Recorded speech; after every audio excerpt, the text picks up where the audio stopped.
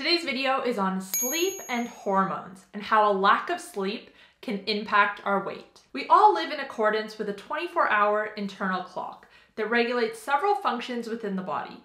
Everything from our sleep wake cycle to our metabolism. This master clock is located in the hypothalamus in the brain and keeps track of time through external cues such as light and darkness and meal timing. When we get or don't get these cues, hormones are released accordingly.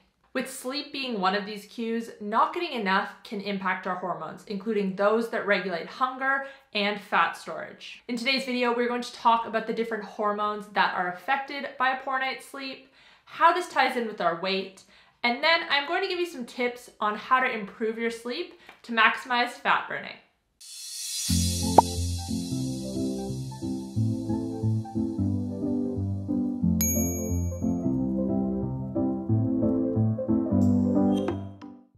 Guys, welcome back to my channel. If you're new here, my name is Kait. I'm a health coach and I post videos on a high fat, nutrient dense way of eating. If you like this video, please give it a thumbs up, feel free to share, and make sure to subscribe. And make sure to follow me on Instagram, Twitter, and Facebook where I share new posts every single day. As I said before, today we are talking about sleep and hormones and their relationship to our weight. There are five main hormones that are affected when we get a poor night's sleep.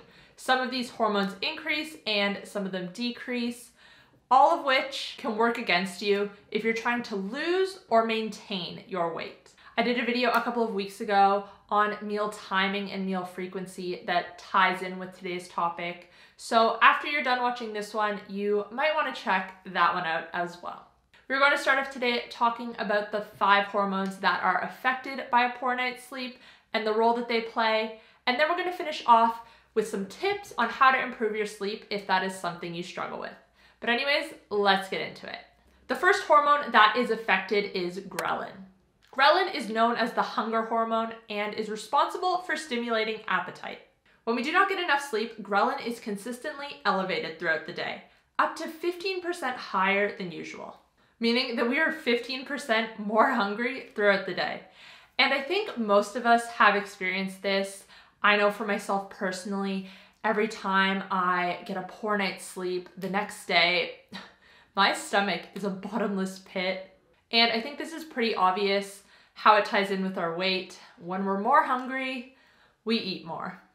The second hormone affected is leptin. Leptin is essentially the opposite of ghrelin. Ghrelin signals us when we're hungry, so we eat, and leptin signals us when we're full, so we stop. It is referred to as the satiety hormone as it decreases hunger.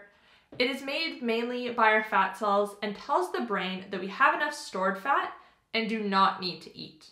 When we do not get enough sleep, however, leptin can decrease up to 15.5%. And again, I think it's pretty evident the impact this can have on our weight. On one hand, we have an increase in the hormone that signals we're hungry, and on the other hand, we have a decrease in the hormone that signals we're full. Whew, that's not a good combination. The next hormone affected is insulin. I talked about insulin a lot in the video I mentioned earlier on meal timing. Of course, when we eat or don't eat, our insulin levels adjust accordingly. But not getting enough sleep can also impact our insulin levels. Studies have shown that just one night of sleep deprivation can make us temporarily insulin resistant, which leads to elevated levels of insulin circulating. Insulin resistance means that our cells are not properly responding to insulin, and this usually ends up happening after a long period of time of elevated insulin. The consequence of being insulin resistant, even temporarily, is that when insulin levels are high, we store more fat. Of course, this is a problem for someone who isn't usually insulin resistant but their insulin sensitivity will go back to normal when they get adequate sleep again. But for someone who is already insulin resistant or working towards becoming more insulin sensitive, sleep is even more important. And then human growth hormone. Human growth hormone is released during deep sleep. When we do not get enough total sleep, we are probably cutting our deep sleep short as well. This hormone allows our tissues to grow and repair, it can also help you lose weight through its actions on two enzymes which control the breakdown of stored fat. The first being lipogenesis, which human growth hormone inhibits, Lipogenesis is fat accumulation, and human growth hormone inhibits this while also encouraging the body to use fat for energy over glucose. In this regard, human growth hormone seems to have the biggest impact on fat tissues around the abdomen. The second enzyme is hormone sensitive lipase, which human growth hormone assists. Hormone sensitive lipase is the breakdown of stored fat to use for energy. Fasting also increases human growth hormone, and I think this is why people who start intermittent fasting see such great results with weight loss. And finally, we have cortisol. You probably know cortisol as the stress hormone. When we don't get a good night's sleep, cortisol increases, and this can affect our weight for two reasons. Number one, it increases our hunger, and in particular, it can increase our cravings for sweet foods. And number two, it signals the body to store energy as fat instead of using it immediately. As you can see, even one poor night's sleep can have a pretty significant impact on our weight and in turn our overall health. In the last six months or so, sleep has been something that has really fascinated me and that I have been working to prioritize. If you have hit a weight loss plateau or just can't figure out why you are not losing weight, sleep might be the missing link. So what can we do to improve our sleep? Here are my top three tips. Number one, manage light exposure. I mentioned at the start of this video how our bodies operate on a 24 hour internal clock and how this clock is synced based on cues. Light or lack of light is one of the most important cues. When we are exposed to natural light in the morning and throughout the day, this signals our bodies that it's daytime and that we need energy and to stay awake. When the sun sets in the evening and there is no more light, this signals our bodies it is time to go to sleep. Now, when we mess with either cue, either we don't get enough natural light during the day or we get too much light after sunset, this can mess with our sleep. Blue light specifically is of importance. It is emitted off of our devices, and I know most of us are guilty of staring into our phones or laptops well into the evening. This sends the signal to our body that it's still daytime and that we need to be awake. So when you finally do get to bed, you might find it hard to fall asleep or to stay asleep. To counter this, you can use a pair of blue light blocking glasses.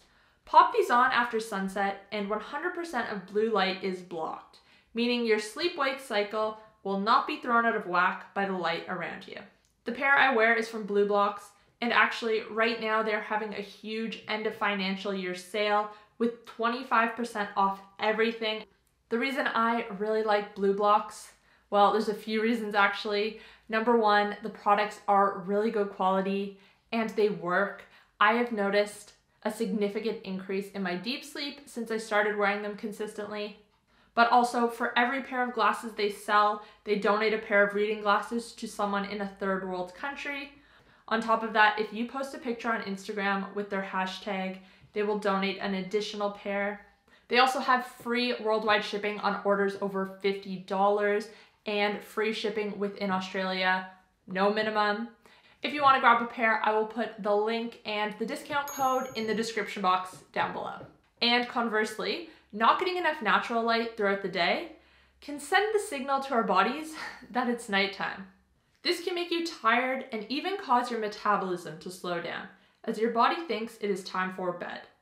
Sitting near a window with natural light or trying to get outside as often as you can throughout the day, these are both things that can help.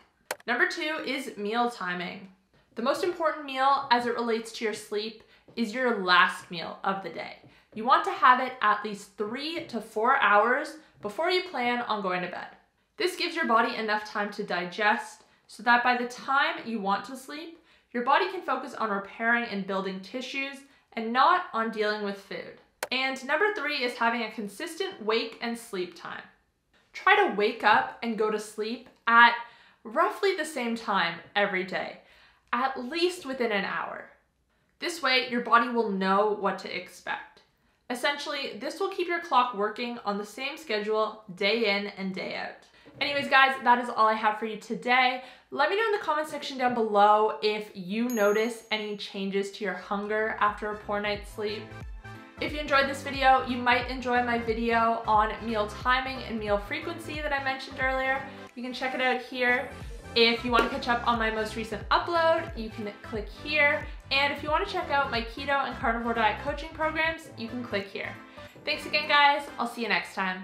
Bye.